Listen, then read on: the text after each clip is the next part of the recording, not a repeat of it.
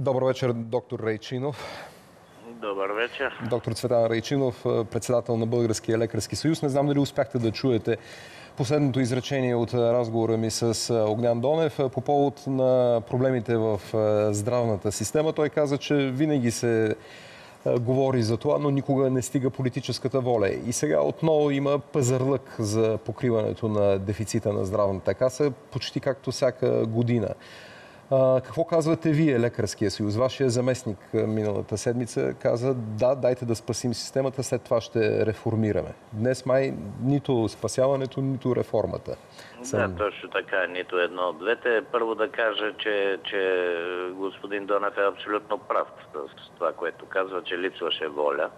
Липсва и в момента, както се вижда. 225 милиона са недостатъчни. Господин Чубанов да бъде така добър да каже откъде да отрежем 100 милиона. От а, болнично лечение до болнично, от лекарства, колко точно и кои хора и по какви критерии да ги избираме, да останат без такова.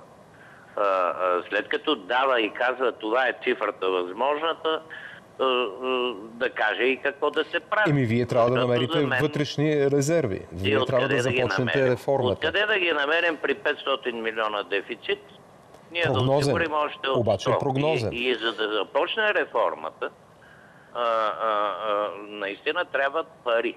И не може при един дефицит, който всяка година се прехвърля и премята и се е, търсят на пожар решения, да се прави реформа. Това просто е, не е даже и сериозно. И, и сега с тези 100 милиона до година ще имаме 600 милиона дефицит и ще почнат трусовете още от април.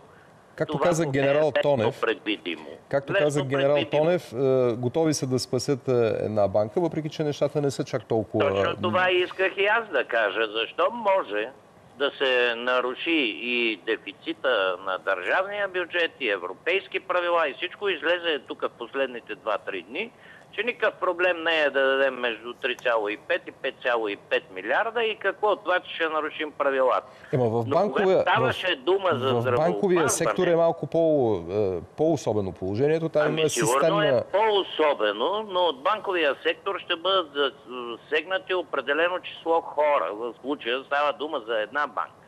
И доколкото разбирам, май политиците от тая посока.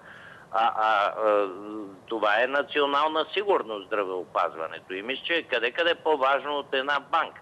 И не виждам какъв е проблема на банката да се отпуснат 3-400, а пълния размер на, на здравеопазване. Не Доктор... може ли толкова да се изчака за 100 милиона в банката, трябва да се чака в здравеопазване. Така, а... и, и само искам да кажа, че 225 може да се случи единствено при условие, че има и промяна в закона за здравно осигуряване.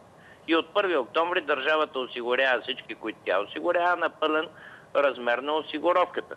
Тогава няма да има и дефицит до година, решението е трайно и следващата година наистина могат да стартират реформи.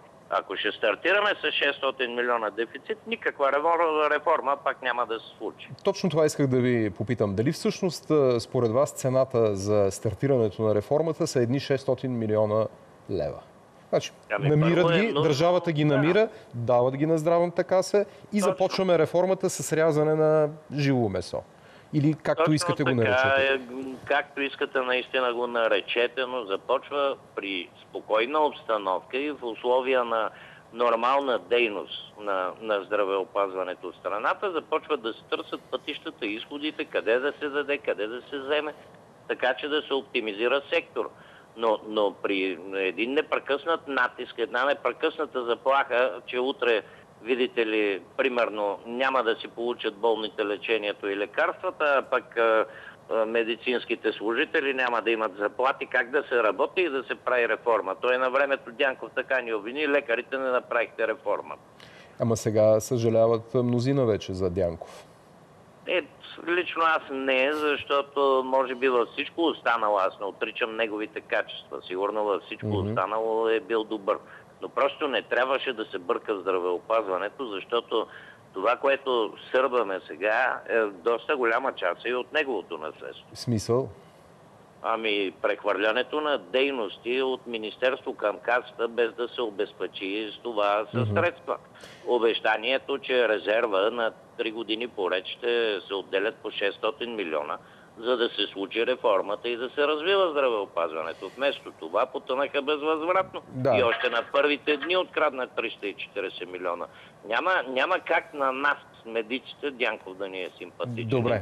Сега трябва да Може видим би е следващия, полезен. следващия финансов министр, да видим, ако ви намери 500 милиона лева, дали ще ви бъде симпатичен и Не дали... да ги намери. Вижте, дайте да сме точни. Да. Просто държавата да бъде еднакво ангажирана, както и своите граждани. Не може аз да си плащам вноските 100%, да ползвам, когато са останали талони, а всички, които държавата осигурява, се осигуряват на 50%, пък да ползват 100%. Ко- Това справедливо ли е? Благодаря ви. Доктор Цветан Райчинов, председател на Българския лекарски съюз.